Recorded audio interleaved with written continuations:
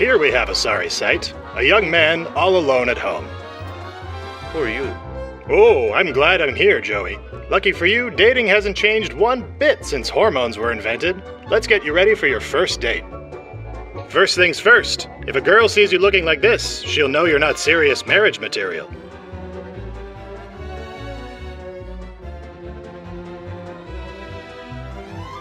There, now you're the bee's knees, Joey.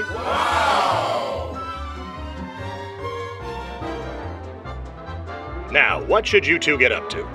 I thought we could go for a walk, maybe? Walking is for squares, son. Pick her up in your jalopy and take her to a nice sock hop or weenie roast. None of those are things anymore. And uh, I don't have a car.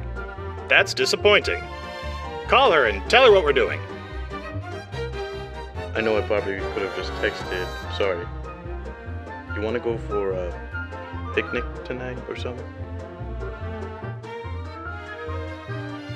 Oh, great.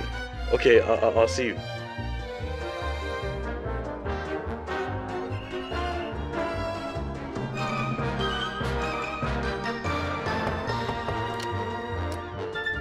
Hey, Mary.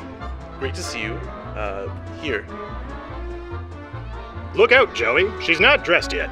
Better stand outside and wait for her to put on a nice skirt. Who's that? He's just helping us out on our first date. Don't worry about it. Weird. Well, I'm ready to go now if you are. She wants to look like that? Hey! What? Hey, I'm sorry. She's just dressed like a pauper's child. Does this guy have to come with us? Honestly, I'm starting to regret it. You kids just don't get it. You look warm. In my day, men were men and women were women. Can I take your coat? Actually, yeah, yeah. Oh, great. The PC police are coming for my thoughts now. Well, I don't want to trigger you or anything, so go Let's on your go. date with your Let's woman without birthing hips. God, what's happened to this country? We used to take our girls to neck in an empty field and they'd thank us for it. And if they were lucky, we'd bless them with sons.